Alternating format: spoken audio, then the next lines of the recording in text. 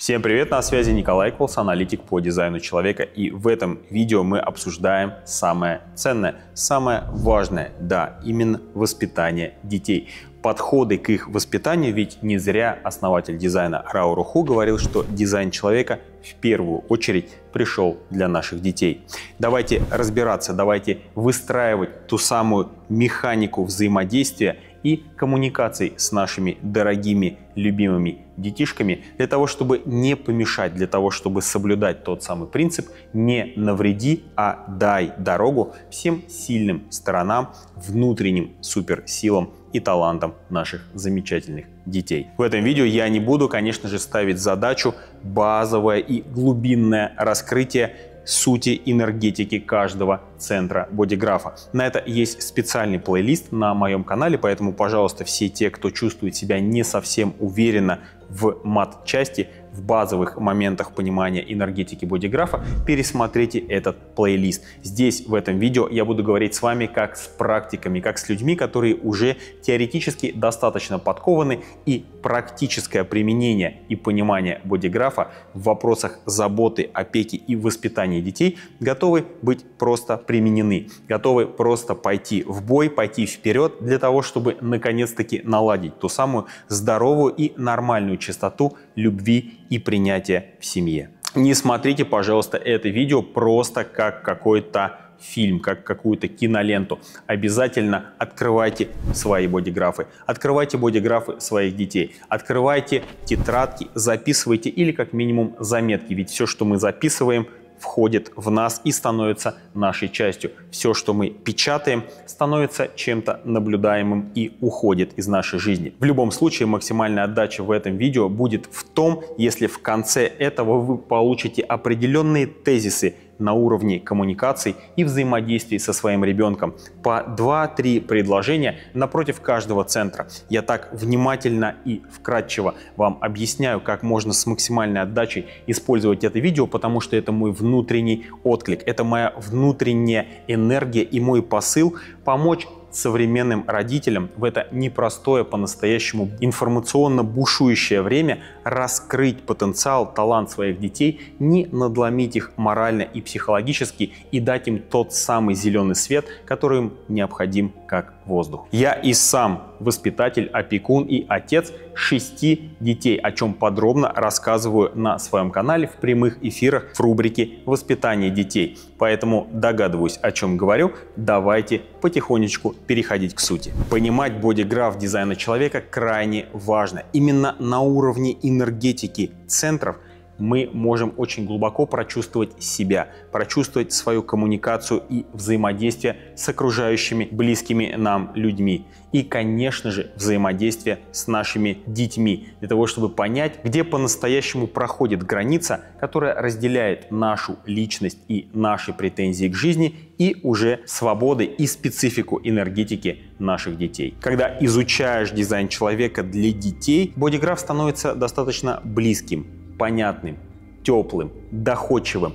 Примеры максимально релевантны, ведь наш внутренний ребенок в той или иной мере до сих пор жив. Наверное, никто не будет спорить, что все мы в каком-то смысле родом из детства. Именно поэтому так полезно и ценно изучать раздел дизайна человека для детей, чтобы еще глубже понять, как все это работает, чтобы на конкретных примерах разобрать специфику взаимодействия и именно в этом видео выработать ту самую модель взаимодействия и коммуникаций с теми бодиграфами детей, которые нас окружают и делают радостными и счастливыми. Ну что же, я думаю, что самое главное и ценное для входа в эту тему было озвучено, и теперь начнем.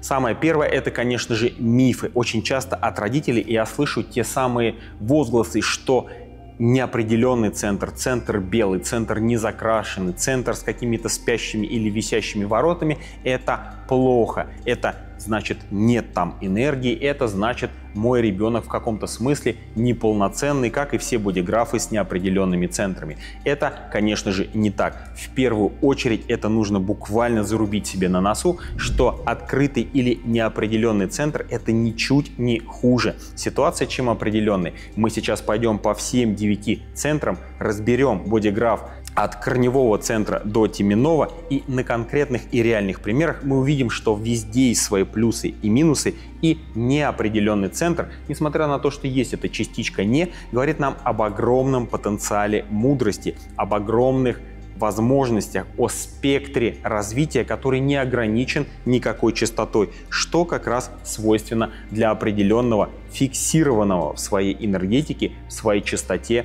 центра бодиграфа. И теперь давайте подбираться к той самой сути этого видео разбора энергетики наших детей, двигаясь центр за центром, разбирая специфику и примеры определенного и неопределенного случая взаимодействия с родителями и вообще самореализацией ребенка в семье. Итак, первое. Поехали. Начнем снизу. Центр давления корневой центр. Как я и говорил, всю специфику и базовую часть я не буду рассказывать про корневой центр, но дети, рожденные с определенным корневым центром, это безусловно дети давления. Это дети, которые умеют двигаться в то, что им важно, ценно, нужно, не бояться идти на стресс. Это дети, которые пришли сюда продавливать. Особенно ситуация может быть в каком-то смысле критическая, если в семью приходит ребенок с определенным корневым центром, а родители имеют неопределенную, нефиксированную корневую энергию, которой то мало, то много, то она есть, то ее толком нет. Сразу же такие родители будут чувствовать большое давление со стороны ребенка, и здесь очень важно говорить о границах. Здесь очень важно отстраивать те самые роли, которые как минимум до 18 лет важно будет соблюдать, естественно, опираясь на свою стратегию авторитет родителей и, конечно же, ту самую специфику линий профиля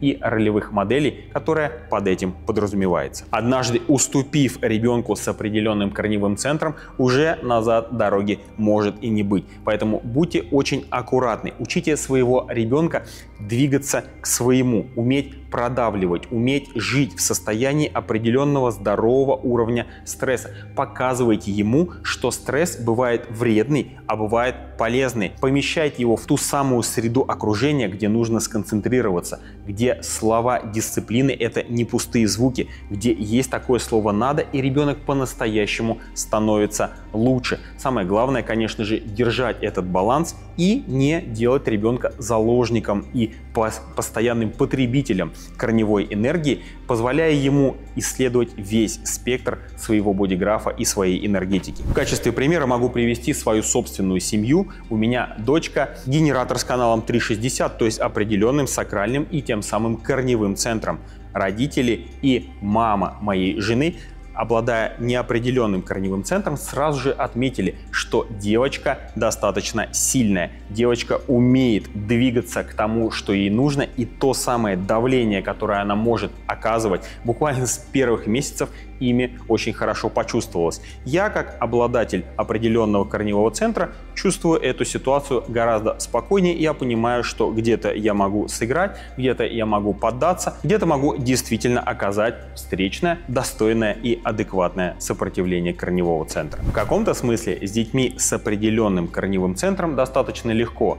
Партия сказала «надо», значит «надо». Самое главное, как я уже это и говорил, не педалировать эту тему постоянно. Да, это удобно, когда слова дисциплины для ребенка не являются пустым звуком, но стратегию и авторитет, конечно же, никто не отменял.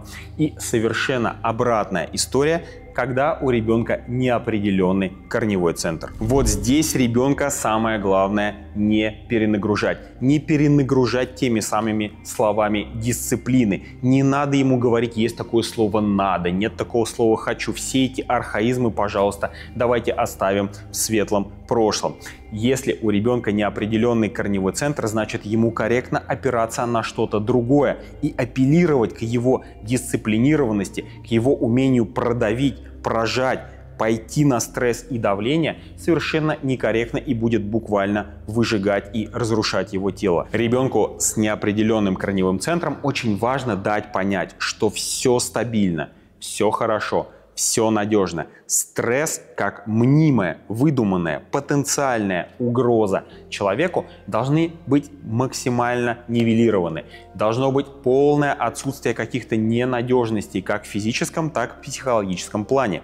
Так, например, ребенок с неопределенным корневым центром будет действительно плохо спать, отдыхать, иметь тревожные сны даже просто потому, что у него ненадежная дверь. Потому что он знает, что дверь входную, например, можно взломать или открыть. Может быть, папа какую-то не, неаккуратную фразу бросил. Может быть, мама как-то пошутила, что они с папой на грани развода. Любая нестабильность, любое какое-то недопонимание и какая-то ненадежность будет большим ударом по стрессовой адреналиновой энергии ребенка, ну и как следствие системе органов. Не допускайте этого, пожалуйста. Детишки с неопределенным корневым центром пришли сюда опираться действительно на другую энергию, ну а взаимодействовать со стрессом, уметь расслабляться, уметь проживать эти стрессы и двигаться по жизни дальше, это как раз задача ребенка при помощи родителей. Пожалуйста, уделяйте этому большое внимание, разговаривайте о том, что давит, что тревожит, потому что выпущенные стрессы – это большая победа для вас как родителей и очень значимый шаг и вклад в развитие самого ребенка. И, конечно же, лайфхак – неопределенный корневой центр должен все делать заранее. Заранее, чтобы не было последнего момента, чтобы не было этой спешки, этой суматохи, этой суеты. Это будет по-настоящему разрушительно. Поэтому, как родителю ребенка с неопределенным корневым центром, вам важно привить в вашем ребенке умение делать все заблаговременно и уметь планировать свое время для того, чтобы не попадать в ситуации цейкнот. Теперь поговорим про селезеночный центр, центр страха, центр инстинктов, центр выживания, центр интуиции. Между прочим, вот этот центр, он уже может быть авторитетным для ребенка. В любом случае, как бы то ни было, если центр определен, это значит, что ребенок имеет возможность быть спонтанным, имеет возможность опираться на свою внутреннюю чуйку, на вот это вот gut feelings, внутреннее ощущение, чутье нутром в моменте и менять свое направление. Именно в этом смысле как раз ребенок может рассчитывать и опираться на свою спонтанность и для него это корректно. Как родителям нам очень важно детям с определенным селезеночным центром обращать их внимание на сигналы тела, на внутренние ощущения, на ту самую интуицию, чуйку, инстинкты. Делать сейчас или не делать, полезно это сейчас или вредно, выходить ли вообще сейчас из дома или лучше с этим повременить это развитие с малых лет как раз даст детям большую гибкость, большое понимание и уверенность, что далеко не все можно понимать головой. Ну а вы, как родители, естественно, убережете их от очень многих ненужных опытов, опытов с физическим телом, здоровьем и различным травматизмом. Точно так же, как с корневым центром, с определенным селезеночным центром, важно работать со страхами. Страхи определенного селезеночного центра тоже могут по-разному проявляться и бить по иммунной системе ребенка. Очень важно, чтобы в доме царило ощущение изобилия, ощущение того, что все нормально, все хватает. Причем это уже не про стресс, который потенциален и может быть вымышлен. Это страх конкретный, это набитый холодильник. Это не стоит никогда говорить при ребенке, что нету денег, на что-то там не хватает. Это все может ударить по его страхам, это все может достаточно серьезно заморозить его развитие и телесность. Если у вас ребенок с неопределенным селезеночным центром, то вообще все вышесказанное про страхи, нестабильность и угрозы актуально вдвойне. Ребенок с неопределенным селезеночным центром толком не знает, чего бояться. Он может очень сильно всего избегать. Бояться бактерий, бояться войны, бояться смерти, бояться того, что он просто останется один. Кстати, последнее – это тоже признак ребенка с неопределенным селезеночным центром, так называемый синдром ребенка прилипалы, который просто чувствует себя в безопасности только с родителем с определенным селезеночным центром. Он чувствует себя лучше, он чувствует себя спокойней, он чувствует себя гораздо более ресурсно, потому что он чувствует себя защищенным определенной селезенкой одного из родителей. Таких детей достаточно сложно в подростковом или уже взрослеющем возрасте буквально выгнать из дома, сепарировать их от себя, потому что им будет страшно оставаться наедине.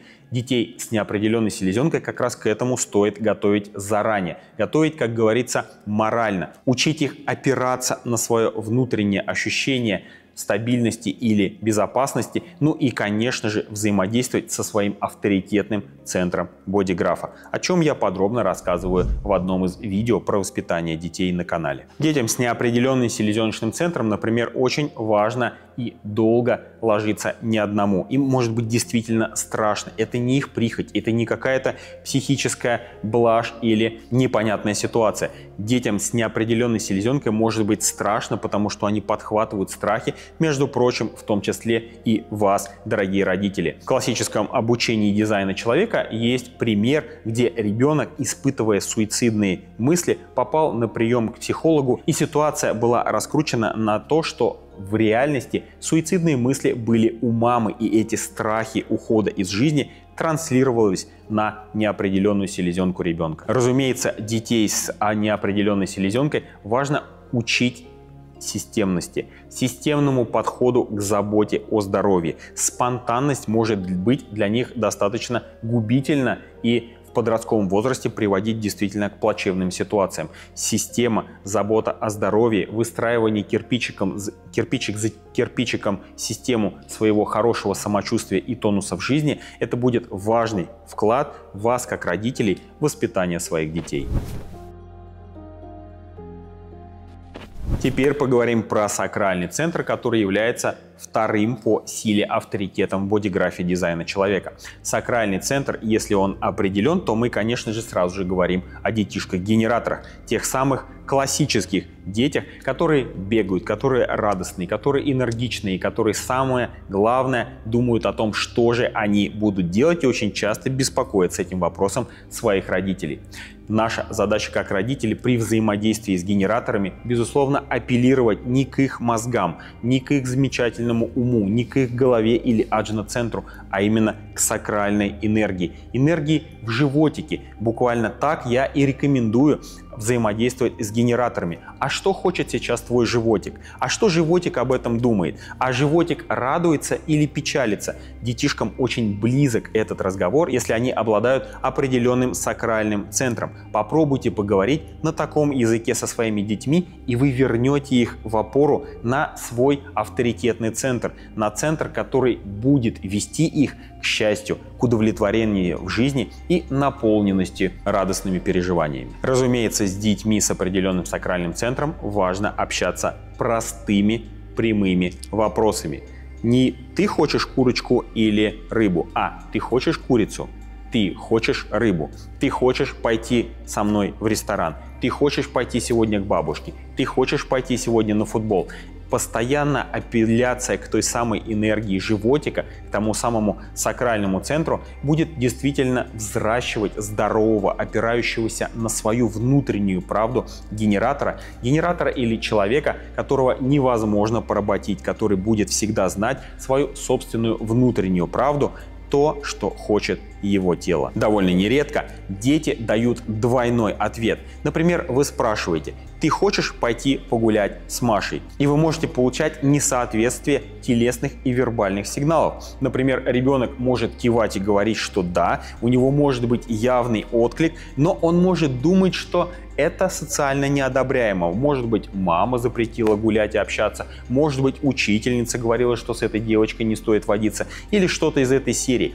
Наблюдайте за этим несоответствием тело всегда честно, оно всегда корректно, оно всегда подскажет, что же по-настоящему для него сейчас важно, нужно и принесет удовлетворение. Ну а вот если у ребенка неопределенный сакральный центр, это говорит нам о том, что у него есть проблемы с остановкой. Внутренний стоп-сигнал, красная лампочка, хватит достаточно. Мы говорим о проекторах, манифесторах и рефлекторах. Сакральное обуславливание для таких детей является достаточно серьезной проблемой. Дети с неопределенным сакральным центром, особенно если в семье есть генераторы, постоянно сакрально обусловлены, и это очень важно понимать. Давайте им место, давайте им время, давайте им пространство, буквально выгоняйте их время от времени, особенно в подростковом и более осознанном возрасте, туда, где они могут побыть наедине с собой, туда, где они могут быть вне сакрального опьянения, сакрального обуславливания и вот этой вот гиперболизации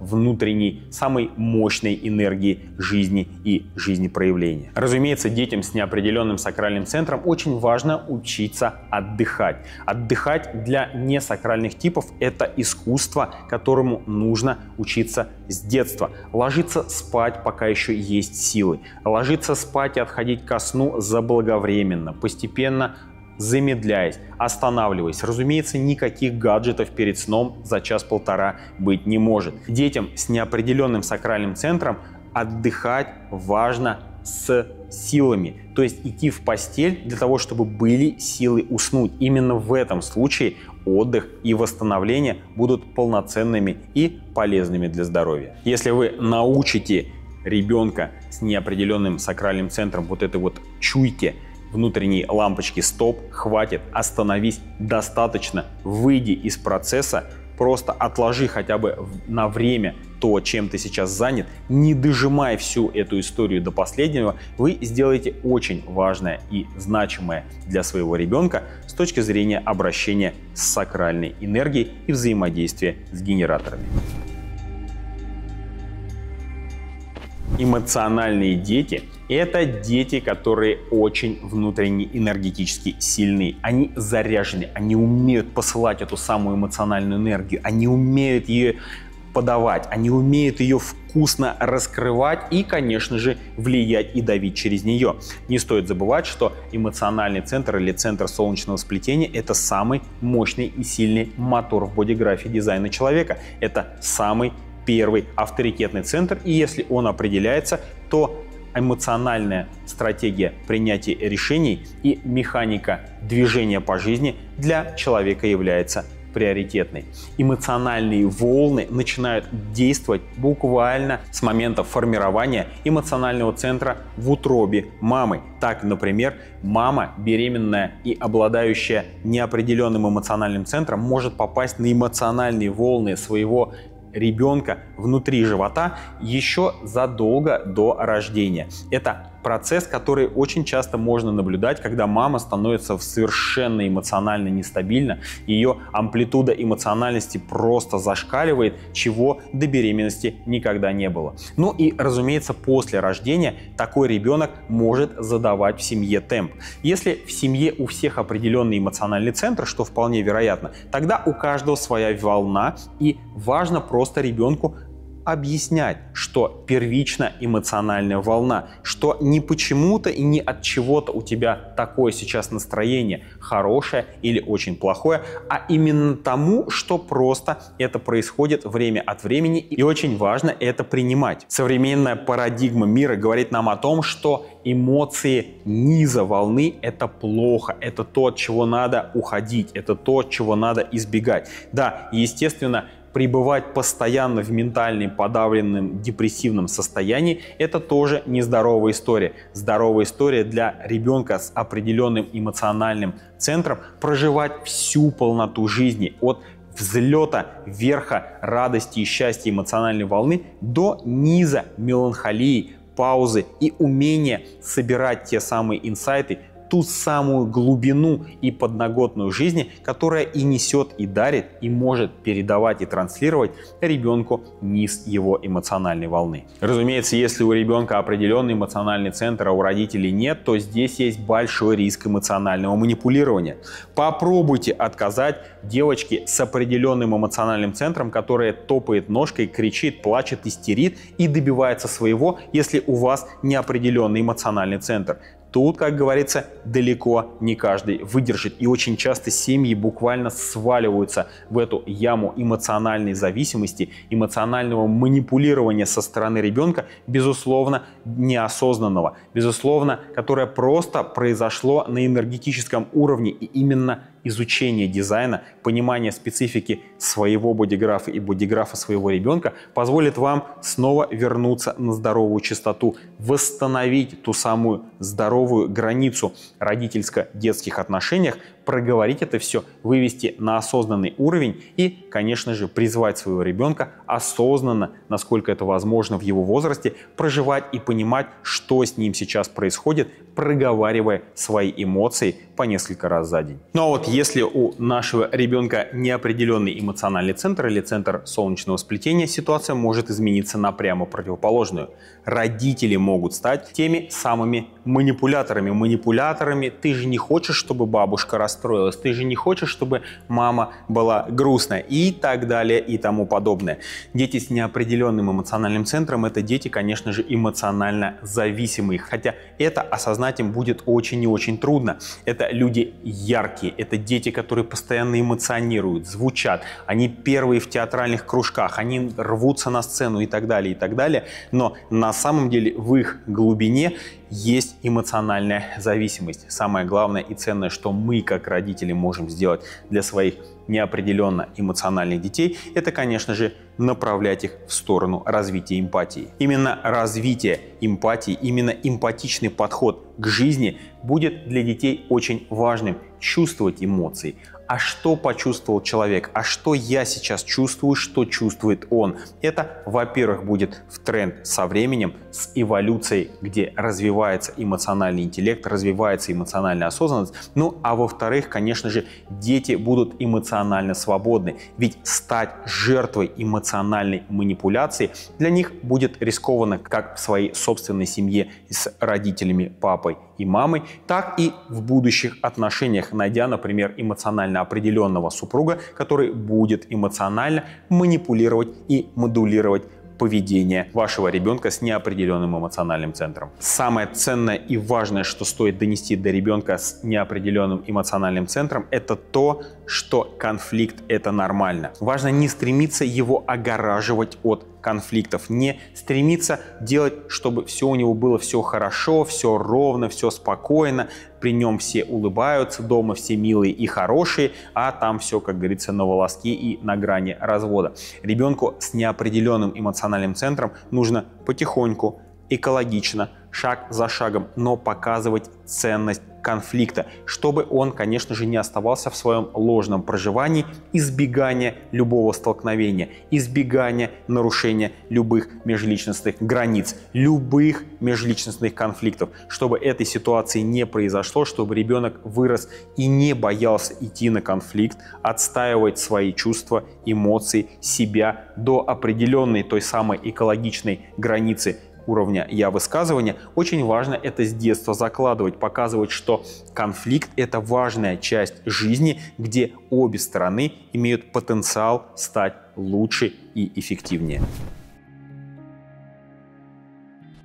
Если у вашего ребенка определенный эго-центр, это значит, что центр воли у него фиксирован, стабилен, ему корректно опираться на силу воли, на силу, которая ведет к трансформации реальности, к преобразованию, преображению всего вокруг, так, чтобы было по-моему. Разумеется, ситуация будет достаточно гипертрофированная, если у ребенка определенный эго-центр, что редкость 30% населения, а у родителей с вероятностью 70% будут эго-центры открыты тут ребенок может опять же начать давить волей, может навязывать свои желания и начать вращать вокруг своего пальца всю семью. Здесь очень важна мудрость родителей, понимание того, что происходит и вскрытие позиций, осознанное проговаривание той ситуации, в которую попала семья и нормализация, стабилизация, выравнивание снова детско-родительских отношений.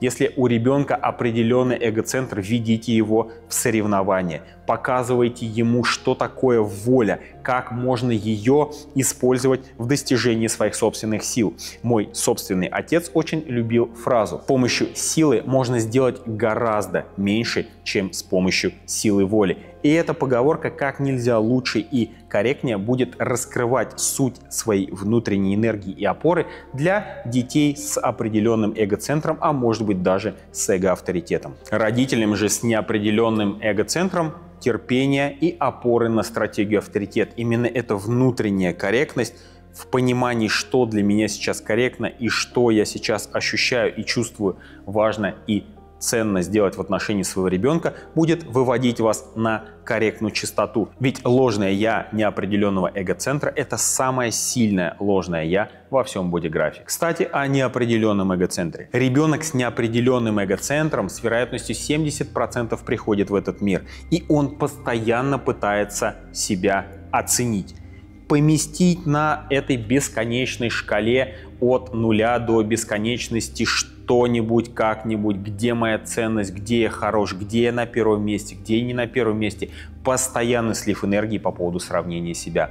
Очень важно своему ребенку с неопределенным эго-центром доносить умение не сравнивать себя с другими, умение понимать, что он прекрасен и уникален точно так же, как прекрасен и уникален рядом с ним Вася, Петя, Маша, Даша и так далее и тому подобное. Именно дети с неопределенным эгоцентром постоянно склонны к драмам, к взлетам и падениям, к постоянной переоценке себя. То я гений, то я ничтожество, то я просто бог, то я никто и зовут меня никак. И эта постоянная драма должна быть осознаваемая. С помощью кого? С помощью, конечно же, нас, дорогие родители. Показывайте это ребенку, ведите его в свою уникальность, чтобы он опирался на то, что у него в первую очередь стабильно, чувствуя там ресурс, там поддержку и там собственную ценность, а не ценность из постоянного сравнения себя с другими, особенно в подростковом возрасте. Ну и, конечно же, откуда будет здоровая самооценка? Конечно же, от нас с вами. Если у родителя самооценка нездоровая, откуда она будет здоровая у ребенка? И наоборот, начните с себя, покажите на своем примере, как вы себя цените, даже если у вас неопределенный эгоцентр, как вы себя принимаете. И, конечно же, ребенку гораздо будет легче на этом примере понять и принять самого себя. Ну и две важные рекомендации для детей с неопределенным эгоцентром. Во-первых, не тащите их никуда соревноваться. Ни косвенно, ни прямо. Никогда не сравнивайте их ни с кем и никогда не ведите их в чемпионаты, состязания, там, где надо стать чемпионом. Это будет ранить и травмировать. И никогда не берите слово с ребенка с неопределенным эгоцентром. Более того, доносите до него, что давать слово, зарекаться, спорить – это не его история. Это история кого угодно. Это детей с определенным эгоцентром. Пусть они так развивают свою силу воли, дают слово, декомпозируют цель, идут к своему результату. Дети с неопределенным эгоцентром – это совершенно другие дети, которые опираются на себя, на свою внутреннюю красоту и через самореализацию все нужные ресурсы этого мира к ним в этом случае подтягиваются.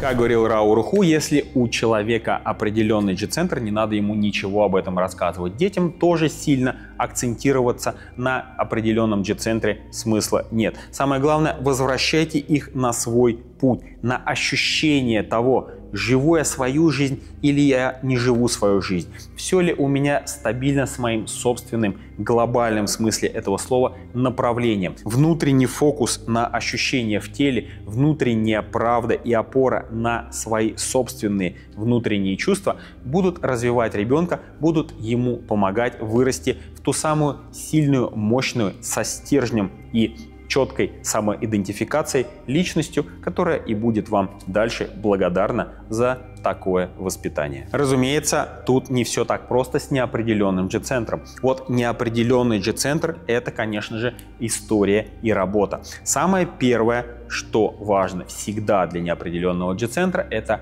место где мое место, когда неопределенный G-центр находится в своем месте, на своей фрактальной линии, на своей территории, его окружают его люди, в его голову приходят его идеи, он начинает корректно действовать и поступать. На уровне ребенка спрашивайте его, как тебе было в этом месте? Тебе понравилось идти к Пете вот туда-то на день рождения? Ты хочешь еще раз туда прийти? А как тебе было, когда мы были там-то в отпуске и так далее, и так далее? Развивайте в ребенке вот это вот ощущение своего места. В своей ли я тарелке? Иными детскими словами. Доносите эту мысль, чтобы у него постоянный был чекап. Чекап, я на своем месте или нет, на своем месте или нет. Мне нужно двигаться и перемещаться, искать свое место или нет. Потому что жизненная мудрость гласит, с тобой все нормально. И очень часто ты просто не в том месте. И, конечно же, позвольте своему ребенку с неопределенным G-центром быть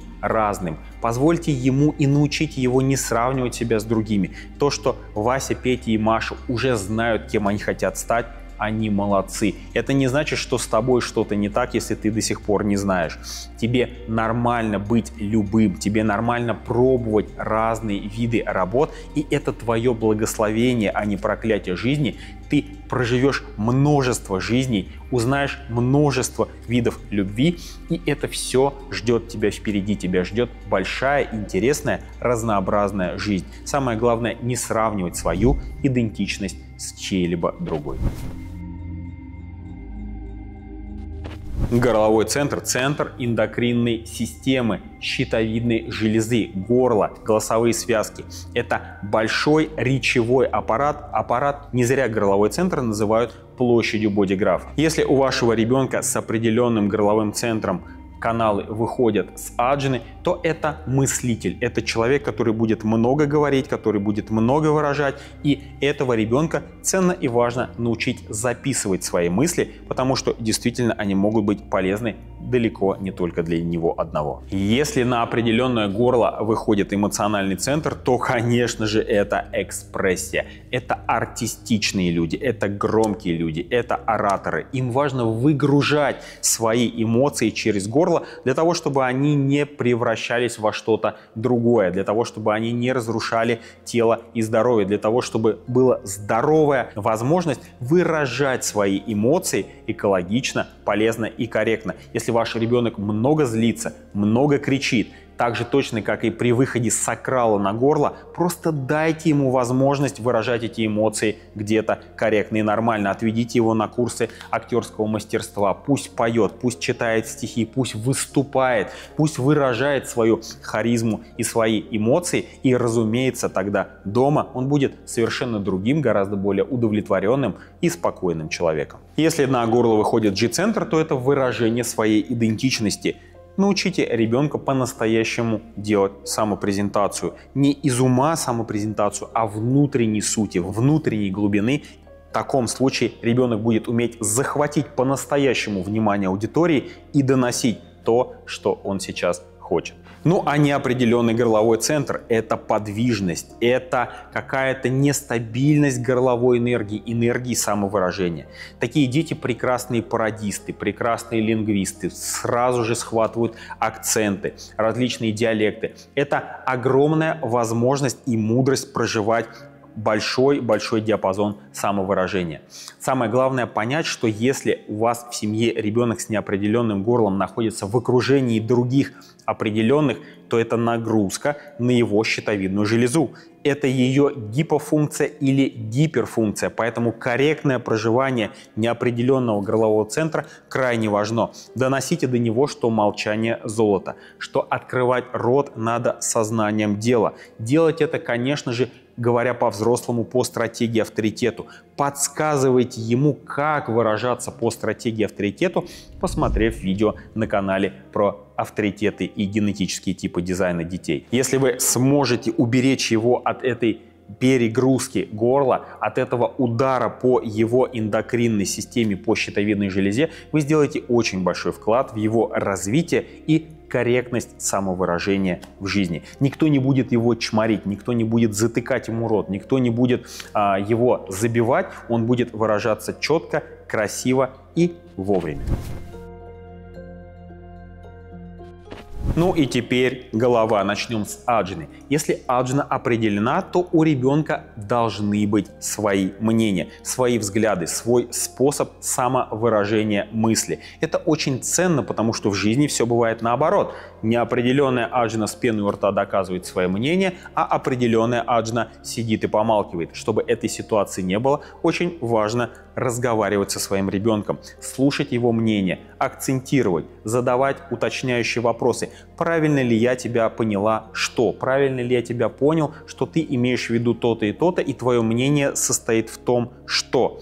Важно донести то, что отстаивание своего мнения, разумеется, экологично до своих границ и пределов, это тоже очень важная деталь корректности проживания бодиграфа в части определенной аджны. Особенно детям с каналом 4323, каналом структурирования, акустическим каналом, если им не нравится то, что к ним приходит через их уши, не нравится голос, не нравится тембр, не нравится манера подачи, они не могут слушать учителя, они не смогут нормально обучаться, они не смогут вообще воспринимать оратора и что им сейчас говорят. Если такая ситуация, к сожалению, складывается в доме, то это возможны буквально потери слуха, воспаление среднего уха 43-х ворот или гексограмм. У меня есть знакомая, она буквально жила у Лора с каналом структурирования в инкарнационном кресте, пока не покинула отчий дом. Так сложно ей было слушать и воспринимать то, что и как говорит один из ее родителей. Ну а если мы говорим про неопределенную аджину, то, конечно же, здесь важна гибкость. Здесь важно донести, что гибкость мышление – это твое все. Никогда не занимай, дорогой ребенок, с неопределенной аджной стопроцентной позицией. Все течет, все меняется, завтра будут новые вводные, и вот эта вот ментальная гибкость должна развиваться в ребенке. Тогда, когда ребенок с неопределенной аджной, с пеной у рта доказывает свою позицию, пытается зафиксироваться за какую-то концепцию, разумеется, все это сизифов труд. Это совершенно бесполезно, и это важно доносить до ребенка, ведь завтра он может пережить глубокое разочарование. А так соломка будет подстелена и понимание того, что вчера мама или папа говорили, о том, что мнение – это далеко не то, на что мне корректно опираться, как раз коммуникативность, как раз умение понимать людей, как раз умение обучать людей, доносить до них информацию на их языке. Вот моя суперсила. Вот это понимание будет укреплять человека и ребенка с неопределенным аджен-центром. И, конечно же, для ребенка с неопределенным аджен-центром очень важно уметь работать с негативом, уметь взаимодействовать с тем, что несет какую-то тревогу, какие-то злые мысли, какие-то э, различные стрессы и страхи. Если ребенок с неопределенной аджиной это получает в свою голову, то это очень долго может в его голове прокручиваться. Не позволяйте этому происходить. Таким образом, самое ценное и важное – это, конечно же, научить ребенка с неопределенным аджина-центром не отстаивать свою правоту, уметь понимать всю подоплеку, всю подноготную и переводить с русского на русский между двумя собеседниками, которые никак не могут договориться. Если у вашего ребенка определенный теменной центр, то это, конечно же, мыслитель с большой буквы. Именно мыслительный, навязчивый, достаточно плотный и интенсивный процесс характерен для детей с определенным теменным центром. Есть фиксация, есть на чем-то фокус. Фокус либо на прошлом, либо на будущем, либо на прямых инсайтах, которые могут давить в режиме импульса и буквально захватывать огромное количество внимания и энергии. Самое главное Главное донести это до ребенка и научить его экологично выпускать это ментальное давление, делать логические заключения и различные формулировки. Не забывая поделиться этим с коллективом, если у ребенка канал 63.4, поделиться смыслами или опытами, выводами, которые он нашел, если у него канал 64.47 поделиться инсайтами, которые приходят по стратегии авторитет вовремя и к месту, если канал 6124,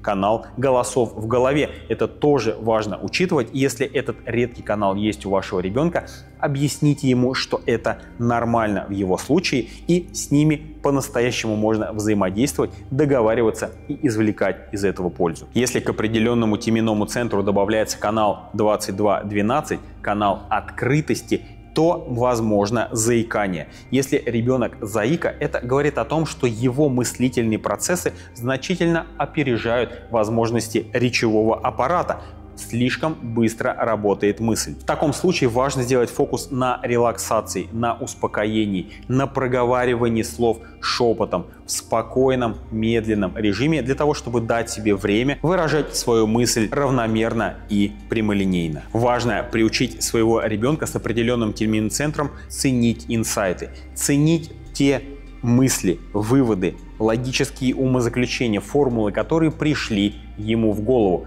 фиксировать их, записывать их и обязательно делиться с окружением, ведь это ценный вклад, который и пришел сюда делать теменной центр, получая от этого, разумеется, поддержку, уважение и продвижение в обществе. Ну и дети с неопределенным теменным центром, как всегда, открыты для всего. Это максимально открытые к информации люди. Это дети, в голове которых может буквально задерживаться любая информация. Как там дела на Марсе, есть ли мировое правительство, что там сейчас происходит на дне моей речки и сколько рисинок в тарелке. Что, кстати, однажды спросил меня мой сын с неопределенным теменным центром. Тут очень важно донести до ребенка на уровень осознанности, что думать о чем-то очень абстрактном, с одной стороны, это его свойство, с другой стороны, это возможная точка утечки энергии потери энергии, слива ее не туда. Самый главный отрезвляющий вопрос в этом случае, который, конечно же, и рекомендован вашему ребенку с неопределенным теменным центром, как это меня сейчас касается. Юности и увлечения различными теориями и концепциями я сам, как обладатель неопределенного теменного центра, очень озаботился в определенный момент тем, существует ли мировое правительство, тайна заговора, конспирология. Все закончилось простым вопросом – я сейчас могу на это как-то повлиять? И дав отрицательный ответ на этот вопрос, эта фиксация моего ума исчезла, улетучилась, и я смог двигаться дальше. Хотя на тот момент были определенные затруднения. В общем и целом важно донести до ребенку, что ментальный процесс нужно уважать и нужно уметь наблюдать его со стороны. Именно наблюдение ментального процесса со стороны с осознанностью и пониманием своего и не своего, своей механики взаимодействия взаимодействия с ментальной энергией и потоком мыслей или не своим, даст то самое продвижение и осознанность ребенку, понимание, куда вкладывать свои силы, внимание и энергию, а куда нет. Ну что же, вот, пожалуй, самое ценное, что важно прописать и проговорить с точки зрения бодиграфа наших детей. Я надеюсь, у вас появились тезисы напротив каждого энергетического центра, у вас появились определенные тезисы и рекомендации по результатам просмотра этого видео к самому или самой себе, и дизайн человека, возможно, стал вам гораздо ближе, ведь и наш внутренний ребенок тоже никуда сам по себе не исчез. Он точно так же хочет быть услышанным, он точно так же хочет быть понятым и простой детский язык понятен и приятен как нашим детям, так и нашему внутреннему ребенку, с которым, как говорится, еще наверняка работать и работать. Я прошу обязательно поделиться в комментариях своими инсайтами, своими дополнениями, своими наблюдениями для того, чтобы это видео было максимально ценно и полезно. Ну и всех родителей я традиционно в детском курсе приглашаю на консультации по максимально льготной цене, которая будет всегда сохраняться, ведь дизайн человека – это что-то, что пришло для наших детей, и наша ответственность дать им то самое лучшее, ту самую дорогу и зеленый свет для самореализации и развития своих внутренних талантов и суперсил. Это был Николай Эклс, это был обзор энергетических центров бодиграфа в дизайне человека для детей. Пока-пока.